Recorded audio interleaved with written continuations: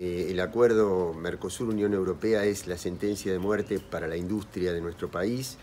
y de todo el Mercosur, de toda América Latina, que ataca las economías regionales, que no vamos a poder exportar nada, que nos va a venir todo de afuera,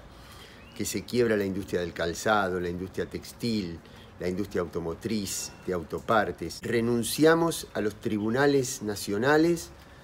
a expensas de los tribunales privados, internacionales, la experiencia indica que cuando un grupo de países con mucho más desarrollo industrial, más desarrollo tecnológico, eh, consigue que la otra parte se abra, es para que ellos exporten todo hacia nuestros países. Los términos del acuerdo, que son gravísimos,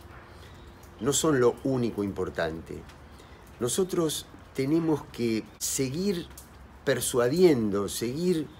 machacando con que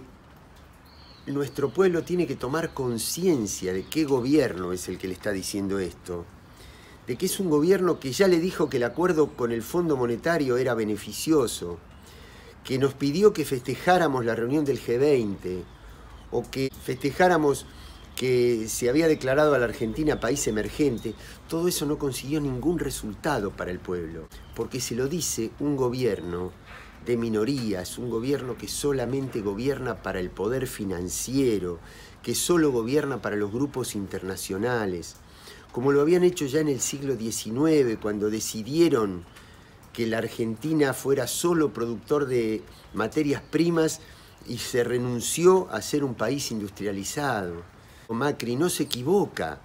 cuando dice que la Argentina empezó a decaer en los últimos 70 años, porque él quiere volver al país anterior a los derechos laborales, anterior a nuestras estructuras sociales forjadas por, por aquel primer peronismo tan arrollador en términos de derechos. Eso es lo que quieren destruir. Nosotros no podemos permitir que nuestro pueblo crea que un gobierno de entrega puede firmar algo que sea beneficioso para el pueblo.